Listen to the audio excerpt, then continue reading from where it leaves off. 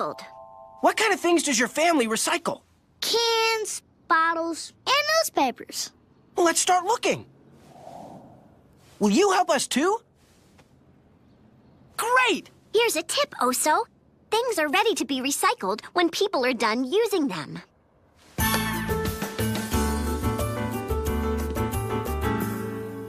Here's a milk bottle. I found one too. Is Joshua's family done with both these milk bottles? Which one are they done with? Joshua's because his is empty. Right. Hmm. Why can't we recycle this one too? It's still got milk in it. Thanks. Look, Oso. Here's some empty cans. Great! Let's take them all. Then we can find the paper to recycle. Here's some newspaper. But is it ready to be recycled? Yeah, when Mom and Dad are done with the paper, they stack it here. I can get them.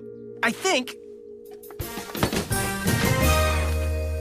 Paw Pilot, what's next? Check your local TV listings for full episodes.